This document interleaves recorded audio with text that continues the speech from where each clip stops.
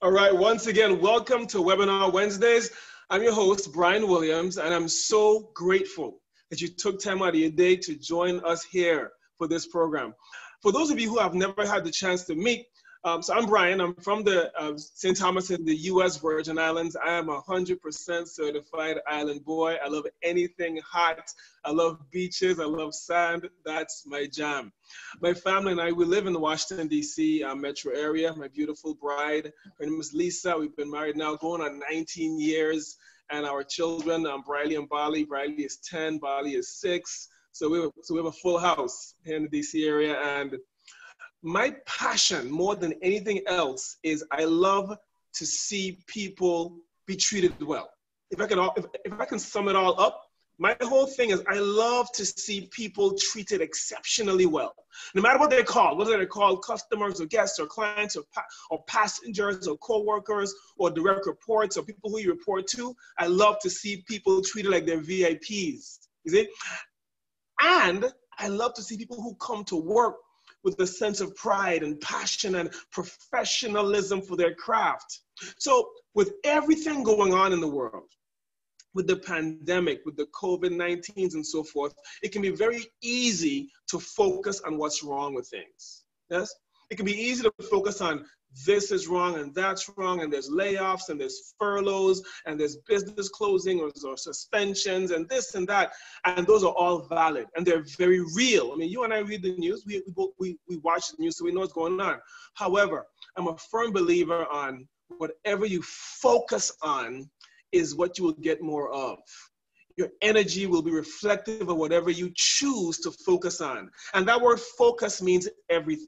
The word focus, as you all know, means that you are deliberately putting your attention on something. You don't accidentally focus. It's a choice. It's deliberate.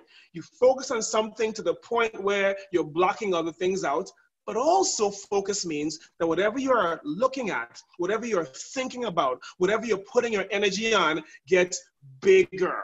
See? So you're blocking things out and you're making things get bigger.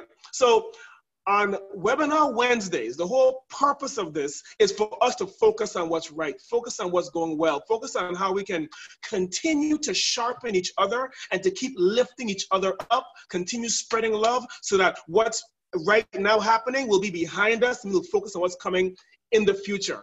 And each week, we have some special guest experts who are going to be helping me to answer your amazing questions. And you all put together some questions what? We have a few, we have five questions and we'll see how many we can get through today. But each week we have different questions we'll be answering uh, with one of my guest experts. And today's guest expert, I don't know if you can do a drum roll with Zoom. I'm not sure if you can do a drum roll or not, but her name is Theo Gilbert-Jamison. And I met Theo been over 20 years ago. And I want to give you a little synopsis. So one of my jobs working in the hotel business, I was a director of training and development for the Ritz-Carlton Hotel Company. And many of you on this call, you all know that. Well, when I first got this job of director of training and development, I was about, I want to say maybe 23 years old, 22, 23, and I'm 26 now. So this is like three years ago. I'm totally lying right now. No, I'm 43. So this is 20 plus years, 20 years ago my first day in the job, director of training, big experience for me. The job I had immediately preceding director of training, I was the employee cafeteria manager. Had nothing to do with director of training, but somehow, through the grace of God, I got this amazing job, this amazing opportunity. On the first day, I don't even know if Theo remembers this or not, but Theo called my office to speak with me. And Theo at the time was vice president of learning and development, vice president of training and development for the Ritz Carlton Hotel Company. She was the top person in charge of training for this luxury iconic brand. And she took time out of her busy day in Atlanta, Georgia, that's where she was based, to call me on St. Thomas first day new job. That just spoke volumes of her character, and it just let me know, man, I was a part of a family. So I'm grateful that she's on this call right now, and I'll let her give a quick introduction of herself before we jump into these questions. So Theo, please in, in, um, introduce yourself to everyone. Wonderful. Well, thank you so much, Bryan, first of all, for allowing me to be a part of this. This is just really incredible as we're all um, socially distancing, I guess. It's so great to be able to get together with people. I'm kind of like Bryan in that, you know, my entry into the to the professional world or even the hosp- hospitality world, I started as a secretary in human resources and um, had the wonderful opportunity to work my way all the way up to vice president of learning and development. So it's been a pleasure. I've known Bryan for many, many years. He is so dynamic. So it's just a great honor to uh, be able to share a little bit of knowledge with you all and also with Bryan. Wonderful, wonderful. And Theo, tell everyone what you're doing now. your your your vocation right now.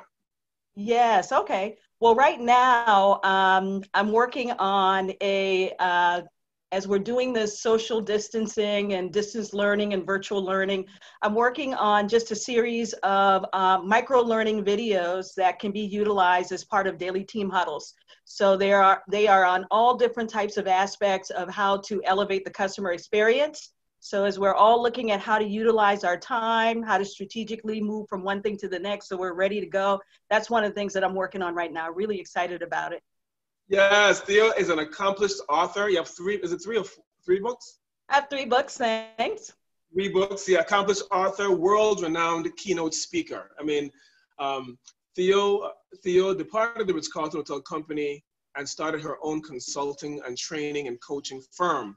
And she did that years before I did the same thing. So she, in many ways, laid the, um, the groundwork, she blazed the trail for people like myself to do what I'm doing. So thank you, Theo. Wonderful, my pleasure. Now, listen, for everyone here on the call, whether you're tuning in from California or from the Caribbean, because I know we're some Caribbean people here, or Florida, or wherever you are in this world, if you have a question, use the chat feature, just like you did previously, and I'll be doing my best to answer your questions as they come in or at or at strategic breaks that we're going to put in here. We, we should be finished um, before 3 p.m., um, but let's get started, shall we? The first question we have that both Theo and I are going to be tackling is, in today's current economic climate, when managers have teams that are on furlough or waiting to return to work, how would you recommend we keep our team members motivated and calm until we see economic resurgence? Theo, I want to have you um, give your perspectives on that first, because that's a very real situation. It really is. You know, with all of us, I'm sure everyone on the call knows someone that's either furloughed, they're working at home, or and there are a few people that are actually still in the office. And what I love about this question is that I have a great example that resonates with it. I've got a friend that's a receptionist with a large church. And in their church, of course, just like everyone else, um, they've decided that people that can work from home will do that. And they've got just a small skeleton crew of people that are working in the church office. But in talking with her yesterday, she said, Would you believe, and, and it, nothing against the people in the church, wonderful people, but she said, Nobody's called to see how we're doing. You know, mm. how are families? We're the ones that have to come in every day. Um, and so that was really interesting because a lot of times when you think about communication and keeping people motivated, we really focus on the people that are away from the office, but it's important to keep everybody, everyone in mind. Uh, with that said, things that I'm doing, and, and, and just like Bryan, I keep in contact with all of my colleagues some of these may be things that you're doing, some of these things you may want to do with a little more rigor, but just simple things like making sure that you're doing brief telephone calls, emails, or text messages with your team to ensure that they know that we still care about you, we're still here, here's an update on what we've got going on, and even recognizing people's birthdays. You might say, Sally Sue's birthday today. It's John's 20th anniversary, you know, things like that. Those little things are so important. Before I turn it back over to Bryan, you know, just one more thing. Uh, when I was coming up in the corporate world, we always talked about having an open door policy. And uh, in many of our handbooks, that's there. Well, in the virtual world that we're working in today, I think as leaders, it's important that we have a virtual open door policy. And what that means is that as you're connecting with your teams virtually or however you're doing it, you're letting them know that they can still reach out to you as a leader via via uh, text message or phone or you know mm-hmm. email whatever works so that they know that there is still someone to be connected with so that's just my contribution to that that's perfect that's perfect Theo. you know what i'll tell you there's nothing more potent than one person saying to another person how are you doing there's genuine compassion genuine caring. If I reach out to Lori Strom or Amanda Adams or Brian Walsh, all of whom are on this call right now, how are you doing? How's your family doing? Right? How, right now, I've had several calls like that since this whole thing started. People checking on me, and I've been doing the same to reciprocate to other people. So I agree with you, Theo. Communication mm-hmm. Is key. Yeah. Empathy is key, right? Genuine concern is key. And this is not the time at all to be stingy with your encouragement. This is the time to lavish it thick. You know, like when you have like some good peanut butter or almond butter or whatever kind of butter that you use, and you want to put that thing on liberally. This is the time to liberally spread, liberally spread that love, liberally spread that encouragement. If, if there's ever been a time in human history where people need encouragement, it's right now. No one needs to hear anyone else complain about how bad things are. We can see it, right? But share it, but then let's keep it moving on to something that you can do to lift somebody else up because that's what we all need. Yeah. Mm-hmm. Yeah, and I would and add to that, you know, everyone has a, a feeling of anxiety right now. So it's just, again, as Bryan has expressed, so important that whether we're a leader or a regular employee, whoever we are, that we just help to stay in connection with each other. So, and that's just one way to provide that great sense of calm. And it makes people feel greatly appreciated, more important than anything else. Yes, and when people feel appreciated, they naturally do much, much more. But I would say um, the, the other part of the question was about how do you keep people motivated and calm until we see economic resurgence? We literally don't know what tomorrow is going to be like. I know that we all know that intellectually, but in this situation that's happening right now, every day is bringing something else something that's either building or building or building. I know here in the United States, things are getting, they're, they're literally still building. So we don't know when things will be resurgent, resurged or when there'll be a resurgence, but we can have faith and we can communicate with our teams what we do know. If you don't know anything, then communicate and say you don't know anything, but do it in an empathetic manner. Excellent.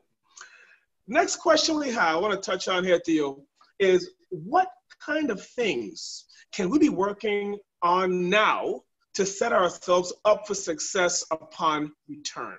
What kind of things would you recommend teams and leaders and organizations work on right now when there's such a great pause? This right now is the great pause, or I call it the great control alt delete.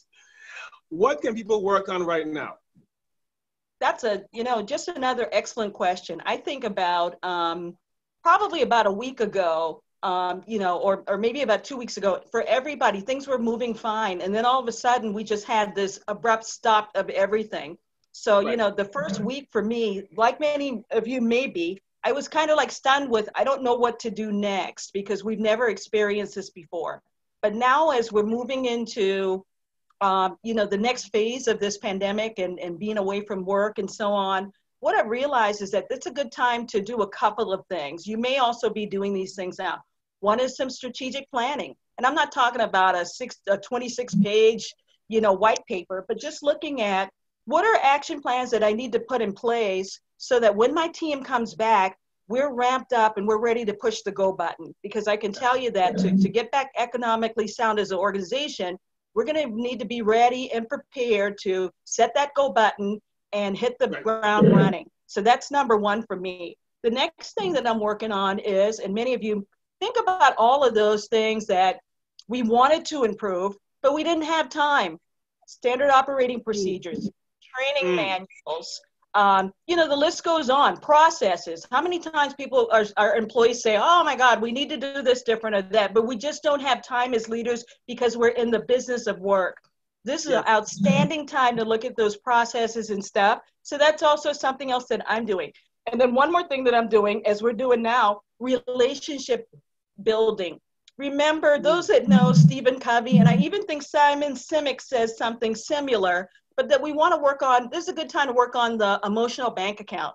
So, yes. what am I doing to set myself up for success? Networking with some of my colleagues, with people that are in my industry, keeping that emotional bank account so that I have homegrown relationships when things start back. And the great thing about uh, building people's emotional bank accounts is that you realize that, you know what, um, you can gain great best practices from what other people are doing and they can do the same from you. So strategic planning, process improvement, working on those business relationships. That's what I'm doing.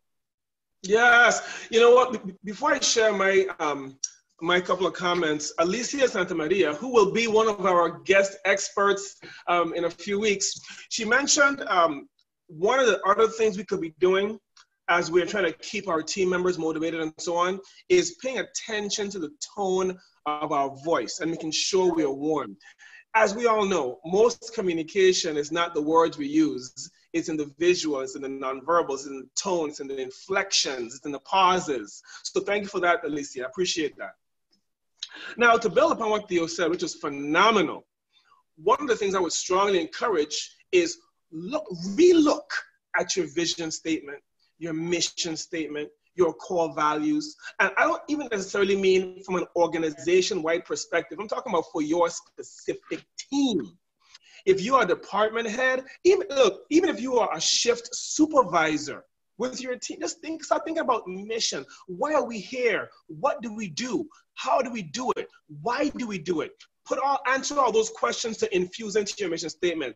In addition, look at your service standards. Theo mentioned standard operating procedures. But I'm talking mm-hmm. about the overarching behavioral expectations that's required of everyone. I'm telling you, if we not if, when we come out of this uh, chapter in human history, if things, if your processes and your systems and your services and your products are not exponentially better, shame on you.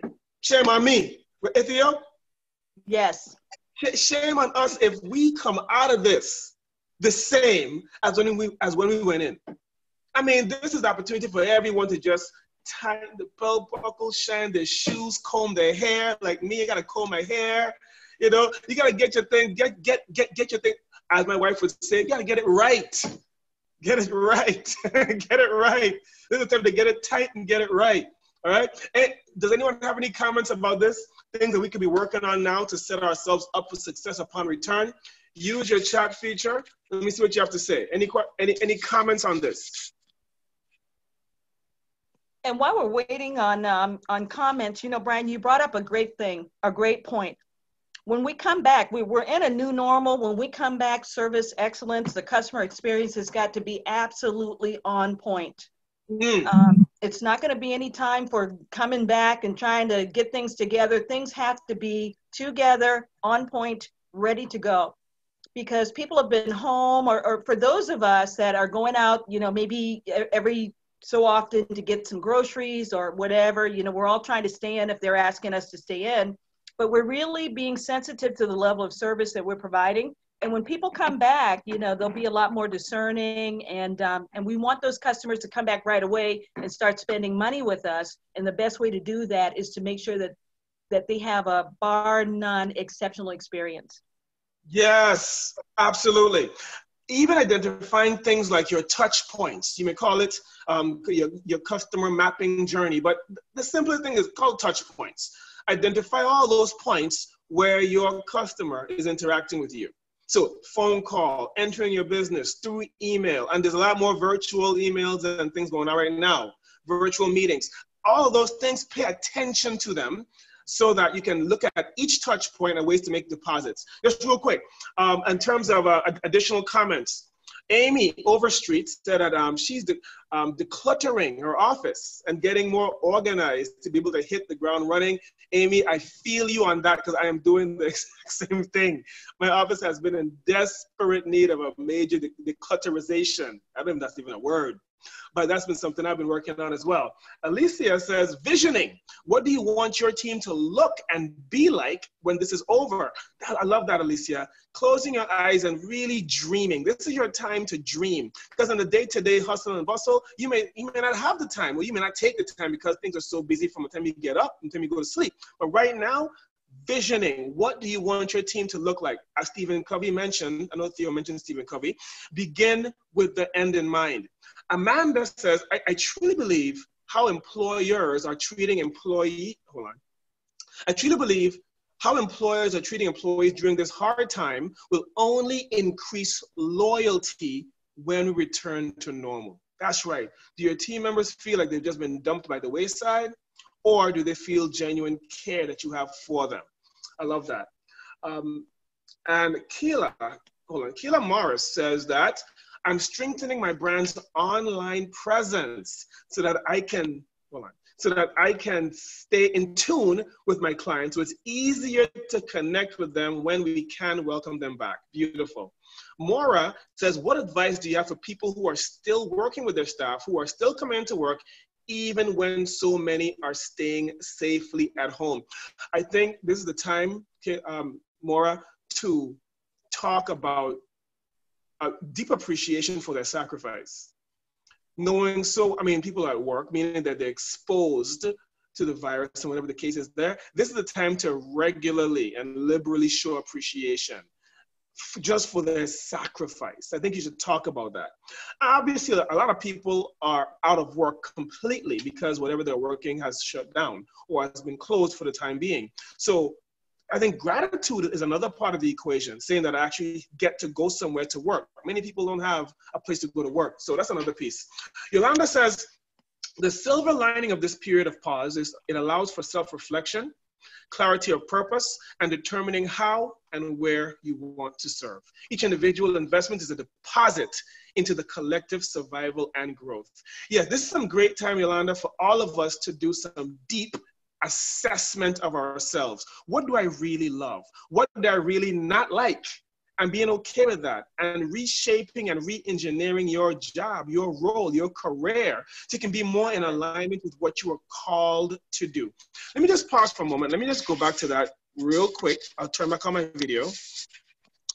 Just, just real quick. There's a lot of people who are who have been doing jobs got college degrees in a particular, and they genuinely don't like doing it. Right? They've gotten a job, they've gotten their degree, they went, they were told you get this degree and all these extra degrees, and you do this and you work your nine to five or whatever the case is, and then you retire. But during that whole time, they know for a fact in their heart that they're not into it. And that's not okay. Because when you're not into something, it affects how much you put into into that craft. You will never exceed expectations or look for ways to do more than what's expected of you when you're just kind of barely putting your heart into it. This, just like just like Yolanda mentioned, just, this is the time right now to have an honest conversation with yourself about yourself. What's my calling? What am I yearning to do? What is it that I do that I always thought was a hobby, but I can't really get paid for it. Man, I want you to refute, rebuke those thoughts. I want you to really think about whatever it is you're called to do, there's other people willing to patronize it, willing to pay for it. I don't care what it is. Even cutting paper, even sweeping the floor, even coming up with an online design, a template. There's something you are put on earth to do. Uh, there's something that you are put on earth to do that the rest of the world needs from you. Feel there's some things that you can do that no one can do like you. In the history of this world, there's never been another Theo Gilbert-Jamison. Even if they had your name, it's not you. Right now, even if you had a twin sister, of which I don't think you have a twin sister. but even if you, Yeah, but even if you had a twin sister, Theo, it's not you. After you are gone from this earth, Theo, there will never be another you. That makes you rare and valuable. And Theo, anything that's rare and valuable is called a masterpiece. That means you are a masterpiece. And the, the, the, really cool part about this situation, Theo, is that if you are a masterpiece, logic shows that I'm a masterpiece. It shows that Amy is a masterpiece, Elise is a masterpiece, Brian's a masterpiece, Blake is a masterpiece. That means that we are all forbidden from trying to be like someone else, because I can never be a better you than you. That means that leads me to say, well, what am I put on this earth to do? And how can I lean into that thing and do it with full confidence, knowing that that strength came from somewhere that's higher than me. It came from the higher power. In my case, that's God. That came to me so I can give to other people. Whatever gifts you have is for other people. All right? So don't get me started on this because we can go on and on all day just on that topic. all right. All right, hold on, let me make sure I didn't miss anybody. I think I, I thought I missed a person or two with this chat. Real quick, real quick. Uh, Lori Strom, she says, we are a healthcare system and feeling the intensity of this COVID 19 situation. And just so you know, Lori, I just want to say right now, God bless you. God bless you and your team. You guys are the healthcare heroes. You're on the front. You all need super capes, superhero capes, as far as I'm concerned. It says, We are blessed in that our CEO and board are supporting daily outreach videos to all 13,000 plus coworkers that include prayer every day our senior leaders and chaplains are praying over patients and families, nurses, all co-workers, leaders. Very meaningful and so well received. See, this is the kind of thing that we need more of. We need more praying over people. We need people to call people and say, listen, I am thinking about you. I am praying for you right now. That's what we need. So thank you for sharing that, Lori. Theo, let's continue on. Our next question is, how, now this is not specific to the our current climate per se, it's just overarching leadership and organizational effectiveness. Mm-hmm. How can a mid-level leader, okay, positively influence the behavior of upper level leadership? Yeah, I saw that. That's a really tough one. And I can remember being a mid level leader and thinking the same thing. But, you know, I want to go back to a wonderful quote from Mahatma Gandhi, which says that we need to be the change that we want to see in others. And I may actually be paraphrasing that, but it's something to that extent. And it just reminds me that um, even in middle management, you know, to realize the circle of influence that you have. Um, so, from my perspective, some things that I would say in order to influence upper the behavior of upper man upper leadership or senior leadership, a couple of things. One that we that we should start. If I'm a mid manager, start by being a role model, the walking, talking epitome of what I think the expectations of senior leadership should be. You know, we always say that you should, you know, look the part, walk the part. And I just think that it's important to role model those senior leader behaviors that you expect, especially when it comes to how we communicate with others, our attitude, making sure it's positive, our professional presence, even in our leadership skills. Um, what we should stop doing, and this is a kind of bitter pill, but sometimes we have to stop looking to senior leadership or upper management for all of the answers. I've been in every level. I've been a front level, a frontline employee. I've been a supervisor. I've been a mid manager, department head, division head, senior executive with a fortune, you know, with a large organization and we're all human. So, you know, what I would say is instead of looking to upper leadership to do all and be all, we should look at, you know, what contribution can I make to the organization? I think Bryan kind of touched on that in the last question that we had. You know, seek out ways that you can be a great contribution to the organization because excuse me, a lot of times people are looking at you. You don't realize it, but senior leadership, upper management, they're really looking. And if you can come back to the table with ideas and ways that either you can improve your team or that you can improve the overall organization, that is the greatest contribution and influence that I think that you could make to any senior leader. And I say that coming from the perspective of having been uh, as Bryan said, vice president of learning and development over a multinational organization, we were always looking at, you know, ideas coming, bubbling up. And those yeah. were the those people that that constantly had new ways that we could be more efficient, be more effective, show more compassion, help people understand their purpose, make sure that we're providing the best cu- customer experience. Those are things that influence uh, upper management or upper leadership. Excellent, excellent. And listen, Theo, just real quick, Kayla Mara says that your hair is beautiful. oh, you know thank you, Kayla. yeah, you're, you are kicking. You're slamming right now.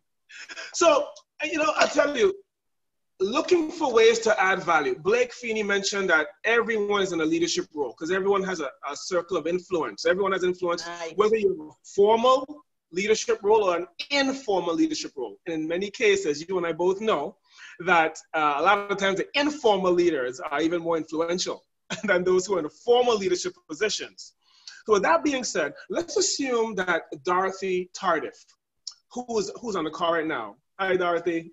and say hi to Don for me. Let's say that Dorothy is on the. Dorothy is, is my leader, and uh, I'm so I, am also I'm a mid manager. Dorothy is my senior leader. Dorothy and Richard Simtab well, both of those. Dorothy and Richard are my senior leaders. The first thing I have to always keep in mind is what is important to them, right? What's on their plate? What is on the senior? What what are my what are the goals and objectives, the strategic objectives and priorities of whomever I'm reporting to? That is the first and most effective thing you need to figure out when you're talking about managing up, because the question is about managing up, basically what's important to them. Because if I know that for Richard, that his biggest thing is employee engagement, then, then you know what?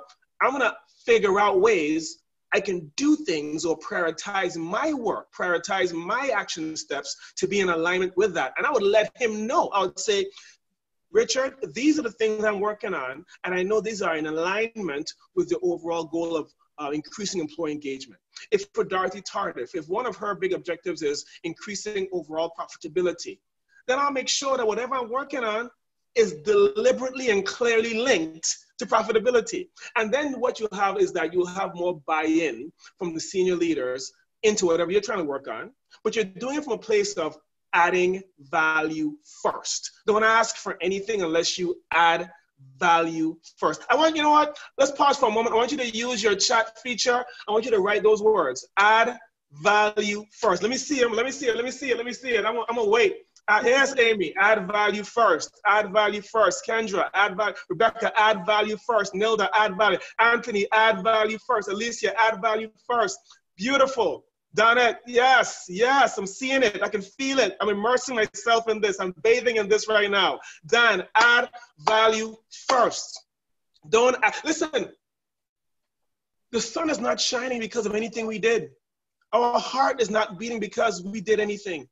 Huh? The air is not there because we put the, these things were all gifts given to us. Yes? So I have no right to ask anyone for anything whom I haven't given something to first, including those I am reporting to. Add value first. Excellent, excellent. And what one, I love too, the, Bryan, if yes. I could just add, because someone wrote it a couple of uh, uh, comments back that leadership is not a position. And I love that because leadership really is a mindset, it's a behavior. And what that means is that anyone can be a leader. And just as you're saying, by adding value, that in itself um, contributes to being a highly effective leader. Absolutely, absolutely. And one, one of the other ways you can uh, that's effective to influence upper level leadership is um, numbers. numbers work. Don't come to your senior leaders with anecdotes and opinions come with numbers, come with facts, come with a spreadsheet that's showing why quantitatively why. You know why? Because your senior leaders, more than anything else, they, they look at spreadsheets a lot. They look at numbers a lot. Their decisions have to be um, data driven. So if you're not coming with data, they're not going to look at you as professional as you are, as you really are. So two things: add value first. Two, come with numbers. All right. All right. Now, Next question is, um, why do some leaders, after empowering, and the, the question actually has quotes around it, why do some leaders, after empowering their associates, still hold the strings in their hands? They say I'm being empowered, but eh, why do people do that? Why do some leaders do that? What do you think, Theo? Well, you know, to be honest, another brilliant question a lot of people just really don't know what the definition of empowerment really is. You know, mm. people think that empowerment is delegating or giving somebody a task, but empowerment is really about giving people the freedom to do the job the best way they can. The operative thing is after they've been properly trained. So when the question asks, you know, why does my leader empower me and then they still hold on to strings? In a lot of instances, it's because deep down they know that they've given you something to, do, to do but they don't trust. And it's not that they don't trust you because you're a bad person or whatever but deep down sometimes they know i really haven't provided theo with everything that she needs to be effective and i want this to to turn out right so i'm going to still hold the reins. And so you know as a part a part of empowerment it really is making sure that people are properly trained first so to empower someone before you delegate a task, you need to make sure that they have the the competence to actually do that task. And that's where as leaders sometimes we fall short. So then we hold on to the reins. And when we mm-hmm. hold on, we give when we empower something to someone, but then we kind of hold tight to it, what a lot of times we don't realize is that creates disempowerment and demotivation? So, you know, that's an exceptional question. And I think my mm-hmm. answer to that would be that sometimes we just really don't understand the definition. And if we did, we would realize that empowerment comes after you properly train someone. If you don't yes. train somebody and you and you ask them to do something because you're delegating or empowerment, empowering, yes. all you're actually doing is dumping a task on them. Think mm-hmm. about that. So we owe a lot of people apology, right? yeah, you know, Theo, uh, you and I, we, we, both grew up in an organization where empowerment was a big thing. Yeah, Ritz Carlton's. In fact, you right. could be, you could be. I've seen people get written up for not empowering themselves to take care of something. Mm-hmm. it's serious business. The thing about empowerment, and I love, and Kelly Everts, who's on the call, Ke- Ke- Kelly said um, a lot of the reasons why people don't empower their, their staff is because they lack trust in themselves. Hey, Kelly? There you go. They lack trust in themselves as a leader and in their teams. Now, I'll give you a quick story. And some of you on this call have heard this story because I've said it in the past. Man, I was I was in a hotel, I was in a hotel gym, and I'm on the treadmill, right? And right outside the treadmill is right in front of me was a window. I can look outside. I'm in a hotel on a treadmill, window in front of me, I can see outside. And this gentleman is on the he's on the phone, walking, pacing back and forth. I can see him clearly, messing up my whole workout zen I had going on at, at the time. Mr. Phone Man decided to come into the gym. But Theo, he didn't just come into the gym. Mm-mm. There was about 10 treadmills lined up, of which I was mm-hmm. on one. The other nine were empty. Where do you think Mr. Telephone Man got on? Which, which treadmill? Yours, I guess, or close to it. the one next to me, not mine. That would have been really weird, right? Okay. He got on the treadmill on the one next to me. But he not only uh-huh. got on the treadmill next to me, Kelly, he decided to start talking to me. He starts saying to me, "Oh, they need me, and I can't. These people that can never do anything without me, and I got to be on every conference call, and blah blah blah." It was kind of he was complaining in a boastful manner. Mm-hmm. He kind of liked it, huh? So I decided to indulge him. I decided to take out my earbuds and I looked at him and I said, "Well, why don't you just try turning your phone off?" that way, your team can have they're, forced to make decisions. He looked like he was about to pass out. He looked at me and said, No, they need me. And that's when it hit me. It's not that they needed him, it's that he needed to be needed. He there needed to be called and texted and relied on and CC'd and involved in everything. And in so doing, he's stifling his team's ability to think He's robbing them of the opportunity to take initiative. And taking initiative is a muscle. The more you use it, the stronger it gets. But the dysfunctional part is when he turns around and now complains to them for not thinking. That's and, you know, to add to that, to yes. add to that, Bryan, um, Nicole says that um, one of the reasons that leaders don't um, empower is because they're insecure.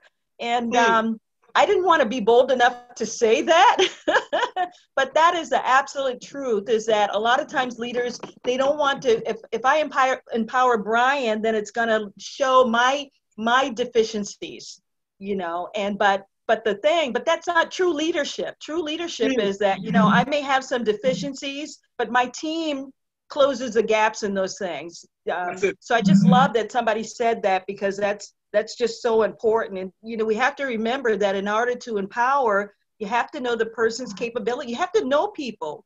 Otherwise, yes. again, you're just dumping stuff on them. You got to know them, rigorously train. I'm big on training, and then provide coaching when they don't meet your expectations. That will happen.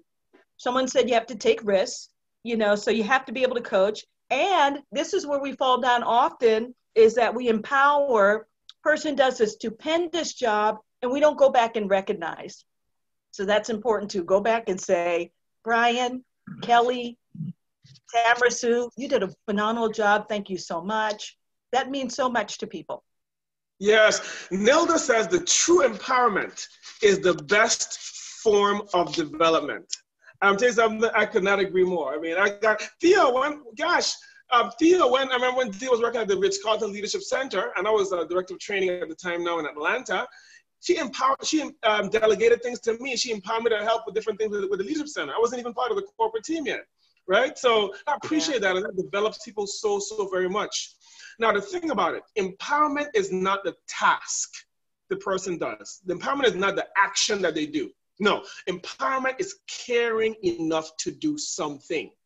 Yes. See, that's that's that's that's really what I'm, when you're asking. So when, when you're saying, team, you are empowered, right? What you're really saying is, I trust you to care enough to do things without asking me first. That's really what empowerment is. It's not the task. It's I trust you to do whatever you need to do because you care. And you don't have to come and ask me first. When you mandate the person has to come and check with you first, then that's not empowerment. Right. See? Yes. And also, it's, it's, it's also worth noting that the vast majority of organizations on earth do not empower their staffs. That's, that's not a normal thing. If you find yourself in an organization where they empower you, consider yourself as blessed. You are part of a very rare group of organizations. Most companies don't do that, regardless of industry. Yes. And I'd like to add to that too, Bryan, that if people as leaders, as we go home and we're like so worn out every single day, hmm. we need to ask ourselves, am I delegating? Am I developing? Someone mentioned development. Am I developing my team so that I can delegate and they can be empowered? Because empowerment is just the, the highest form of recognition. I mean, people just feel so valuable. When you empower people and you recognize them, they'll they'll they'll move Mount Everest for you. They will go above and beyond for you every single time. Yes. Now, now Stacy Worsher has a great question. She says, "How do you get these leaders over this empowerment? Or basically, how do you get leaders to empower? huh? How do you get leaders to empower?" And, I think that's what Stacy's question is. How do you get? You know, and I'll and I'll tackle this one to you. I will say you can't make anyone do anything, right? You can't make someone care. And this is also a great point to call out Theo used the word bold, but I'm just being real. This is a great time to call out that not everyone in a leadership role should be leading people. Right. Not everyone should, should be leading people. Now, yes, we can all learn how to lead. We can all read the books and we can all listen to the podcasts and watch the videos and go to the conferences and read the articles and attend webinar Wednesdays. We can do all these things. But deep, deep down, it comes a point where you have to ask yourself, do I really like leading people? And it may not be something you're comfortable saying out loud if the answer is no. You may only reveal that to your significant other during pillow talk, right? Because if you really, really, really, really enjoy leading people, then you will naturally want to see them be developed. And as Nicole and Kelly mentioned earlier, one, one of the best ways to develop someone is to empower, not dump, empower them to do things. Excellent. All right. Yes, yes. Now, now, next, and, and, and this is our last question before we, we, we start to um, take some more, any other questions from our audience here today. I want to thank you once again for everyone tuning in because I mean, there's so many things I could be doing right now, but you're on this call because I know that we are all not, we're trying to reconnect, keep us connected, right? But in addition, we're all learning together because I'm learning just as much from you as you are from Theo and myself. Last question is, for our call today. Communication continues to come up as a top concern for our company. We have 250 employees, and I'm curious what we are not doing correctly in order to effectively set up the proper communication portals. So basically, um, this question is from a leader who, whenever they do employee surveys, communication or lack of communication is a big issue, right? And they put different things in place, but it's still a big issue. Now, Theo, what are your thoughts on that? Wow, I had so many thoughts on that one. Um, I love the question around communication. Um, you know that there are a couple of things that employees will never get enough of. You, yeah. Surveys show it.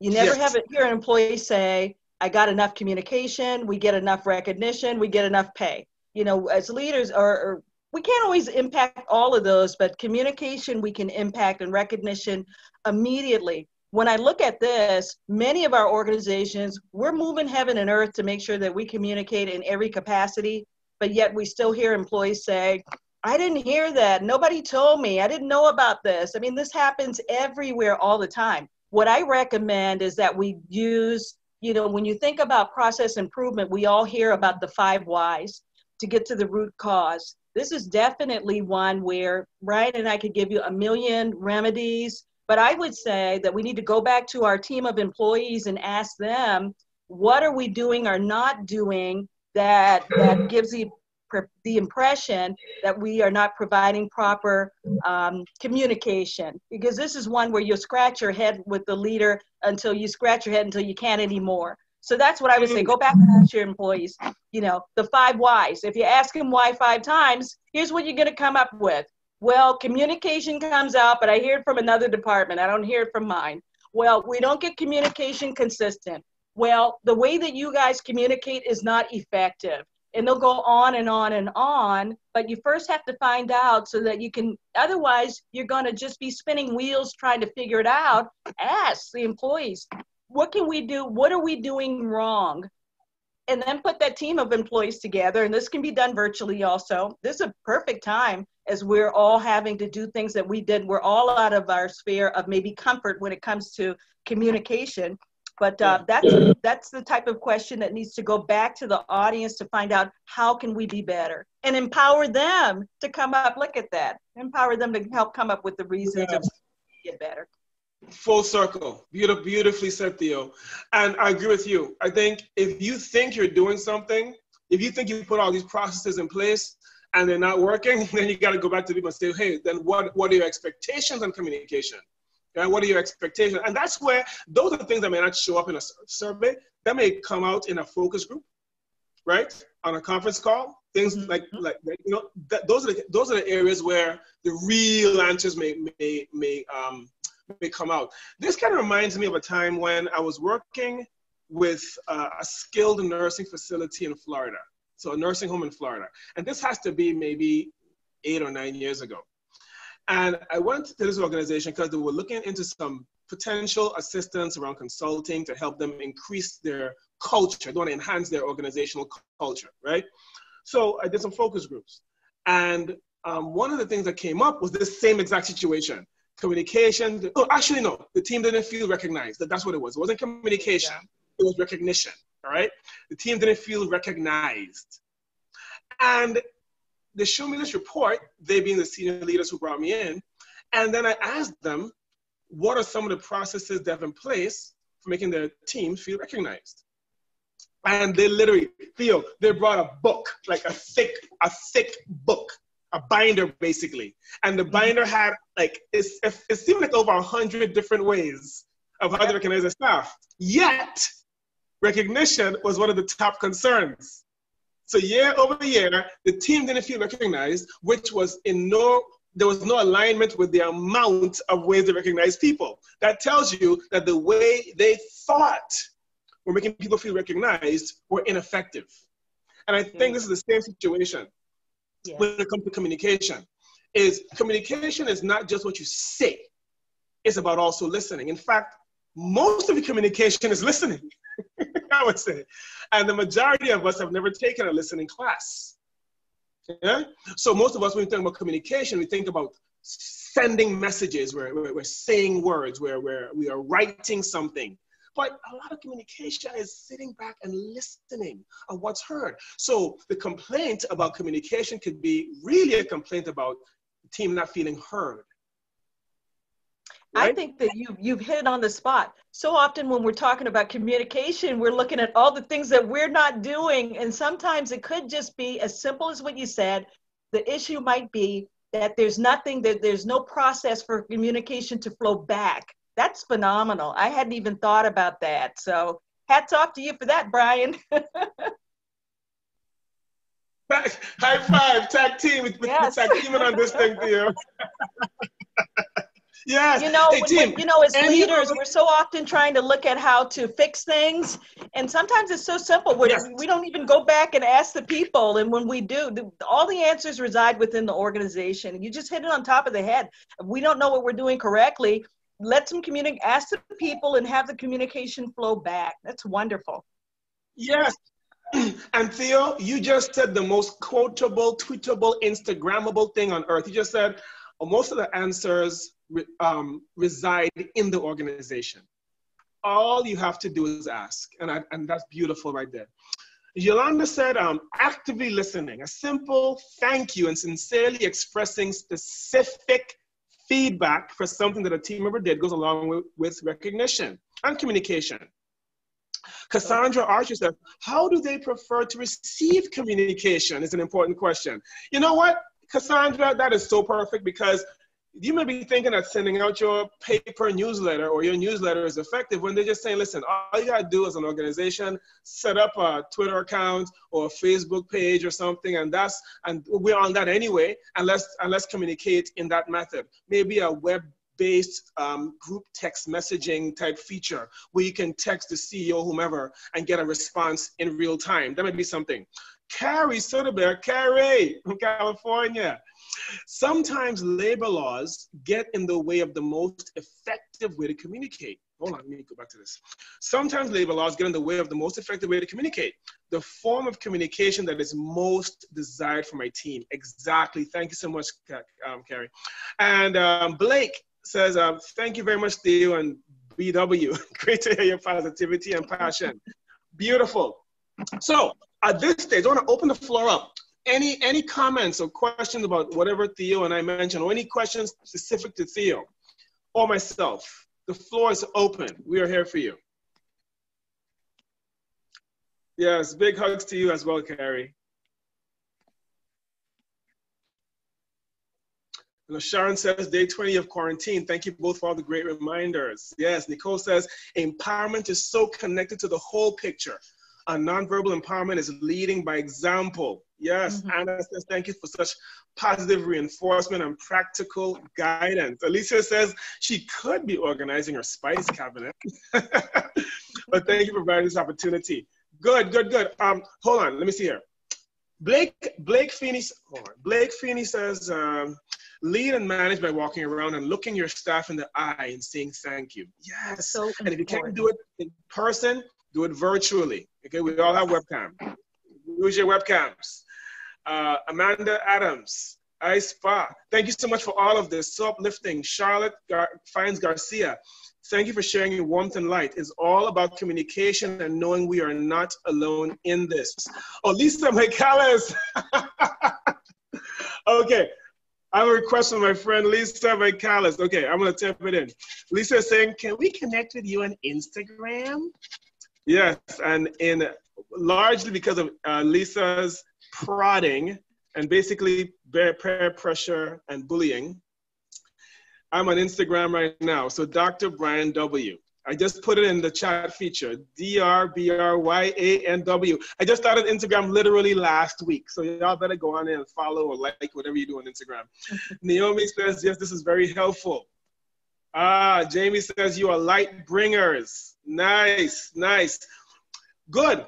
Good. Well, I am going. Let me go back here. Theo, please let yes. us know. Um, I know you mentioned what you're working on right now with, with, with, the small videos, but I could have sworn I heard through the grapevine that you also have an amazing um, resource, uh, a huddle guide resource. Yes, I do. And, yes, and thank you so much for asking. You know, in the just like with you, Bryan, a lot of our clients when they ask, "How do you create and sustain a culture of excellence?" and we teach both of us that daily team huddles is a great way to communicate, recognize, set the expectations, all the things that we talked about, set people up for success, all of those things. So, what I've yes. been doing is putting together this daily team huddle guide that provides leaders with just little snippets of things that you can talk about every day so that with all of these types of questions that we're coming up with that you stay on top of your a game every single day. So i'm just really excited about that. So thanks for sharing that yes and look um, you know back i think one of the questions was about how can we keep our team motivated during this time having team huddles having virtual mm-hmm. team huddles is a great way of doing that and one of our yes. great clients in lincoln nebraska talent plus they do what's called a daily formation that's their huddle eh? They do it at um, 8:45 a.m. Central, Monday through Friday, right? And they do it every day. Usually, usually they do it all together in the corporate office, but um, now they, they, they use um, technology to do their team huddles. In fact, yesterday I was on their team huddle, on their daily formation. Um, Janelle asked a great question about how can we get the huddle guide. Janelle, we'll include uh, information and a link to that in the follow-up email. You and you're gonna send your follow-up email, especially you, Janelle. uh, well, we're gonna send a follow-up email um, within the next few hours. They'll have a, a, a link to this video, yes, along with any of the follow-up materials, including um, the, the guy that Theo so graciously put together. And how many, is it like six months? Theo, worth it is of 25 weeks of information covering 160 days. and then when you get to 160 days, then you start over again because you know re- repetition is so important. People have to hear things over and over again. So that's kind of, and, and I'd like to thank you, Bryan, because you've been very instrumental in helping me uh, put that together. So you get to hear, see a lot of his great expertise in that too. Uh, thanks so much, Theo. Well, Chad, Chad Barth, Entertainment Cruises, he, he mentioned, he said, Brandon Theo, for those of us who manage hourly hospitality members who currently are without work, how can we quickly get them back to a level of motivation slash excitement once they're able to come back to work to quickly focus on that amazing level of hospitality that we need to bring back once restaurants are back open? So basically for those of you who, who are hourly hospitality people, right, who many of them are out of work right now, most, if not all, are out of work right now. How can we quickly get them back to a level of motivation and excitement? Well, the first answer is you hire people like Theo or myself to come in and provide some training for your team. Right? But Theo, what what perspective do you have on that?